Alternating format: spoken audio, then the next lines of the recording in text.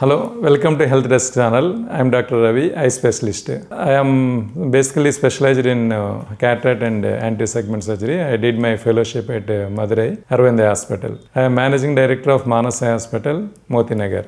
Yeah, today main our eye-related topic is glaucoma. Glaucoma means uh, nowadays some awareness is there in the general public also because uh, some glaucoma day is there. In those days, uh, usually newspaper nowadays they are publishing different different glaucoma topics in newspaper.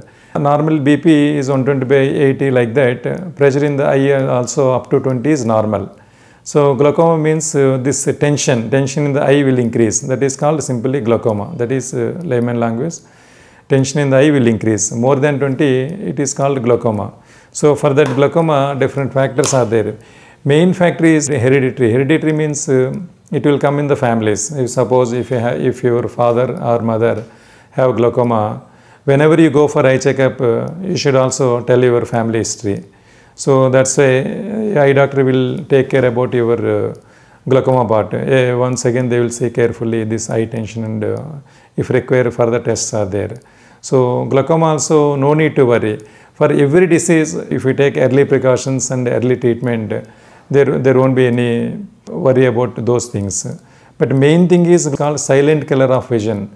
Unfortunately, the patient also don't know about the visual loss. That, that's why it is called silent killer of vision. That's why whenever you go for eye checkup, usually your consult doctor will see tension. If it is more than 20, normal up to 20, maybe it, it is 10 or 15 or 18, 20, up to 20 in the tension is normal. More than 20, it is called glaucoma. That is, different stages are there in glaucoma also, different types are there. Depending on the type, usually they will prescribe, the eye doctor will prescribe medicines.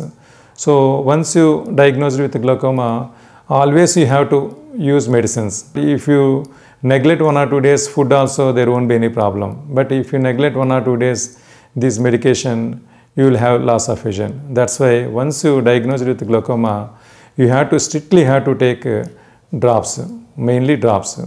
Usually glaucoma, first you will treat with medicines, one or two drops. Okay, if it is usually it will control. Otherwise, three drops also some patients require. So with three drops, if it is not under control, uh, then those people will advise surgery. Glaucoma is a, also hereditary disease. That's why whenever your father or mother or uncle, if in your family, if you have glaucoma, whenever you go for eye checkup, always you have to mention about those things with your consult doctor.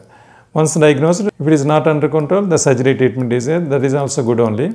So, if any disease comes first, you should not worry about the disease. How to tackle with uh, that uh, disease, you have to think about the. then you have to take proper treatment, and you won't have any visual loss.